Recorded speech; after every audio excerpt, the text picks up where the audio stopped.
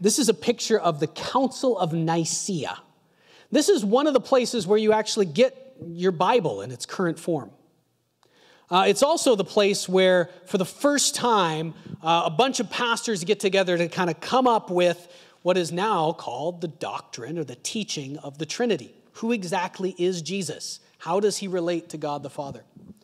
And this is uh, the Emperor Constantine, and he became a Christian. He was the Roman emperor. And then he, uh, because the emperor was now a Christian, it wasn't illegal to be a Christian anymore.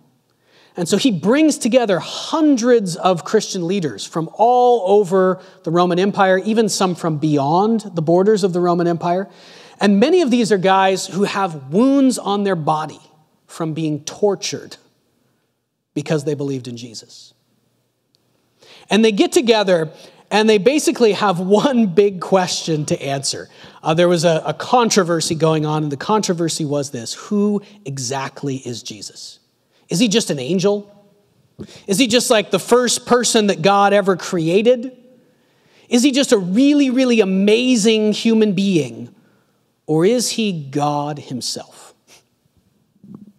You can see there's, there's one bishop underneath in the bottom of this. This is Arius. If you've ever, I don't know, maybe some of you know your church history. This is, uh, he was the founder of the Arian heresy. He said that Jesus was, was not actually God himself.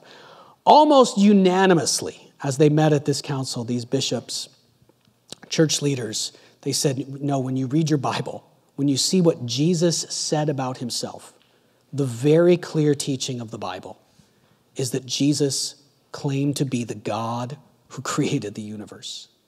And they said, that is extremely important. Extremely important. Here's the famous part of the famous statement that they came up with. And I'm going to read it for you. We don't really do creeds in our church. This is a famous creed of the early church. They had statements that they recited that were about um, what we believe. A creed is, I believe. That's what creed means. We don't recite them anymore because, especially in the Middle Ages, these things got way out of hand and they got really, really long, and people held them up over the Bible. And we hold the Bible as the most important thing. So did these early church leaders. But I want to read this to you because it is quite beautiful and gives us uh, this is the result of them wrestling with passages just like what we've read here in Colossians. And here's what they said We believe in one God, one God the Father Almighty, maker of all things visible and invisible, and in one Lord Jesus Christ, the Son of God, begotten of the Father, the only begotten, that is, of the essence of the Father, God of God, light of light very God of very God, begotten, not made, consubstantial with the Father. These guys loved big words. There was a long, long debate about this word.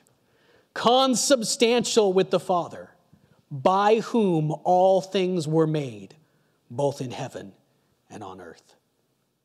And even though we're not going to start reciting creeds or anything like that in our church, this is a good summary, a good expression of the truth we see in the Bible. Somehow they are different people, Jesus and God, but they are one, one God. And here we'll come to the end of this message for today. Here's the whole point. Why argue about something like that? Why make such a big deal about it? Because if he isn't God, the price isn't enough to redeem the world. Because if he isn't God, a scraped knee can be redeemed, but not the 18 million. If he isn't God, maybe the kid sitting alone at lunch can be redeemed, but your sin cannot be forgiven. A human life cannot be redeemed if he isn't God. The only thing that can redeem something that is irredeemable is a price beyond imagination. God of God, very God of very God, light of light, allows himself to die for the sin of the world.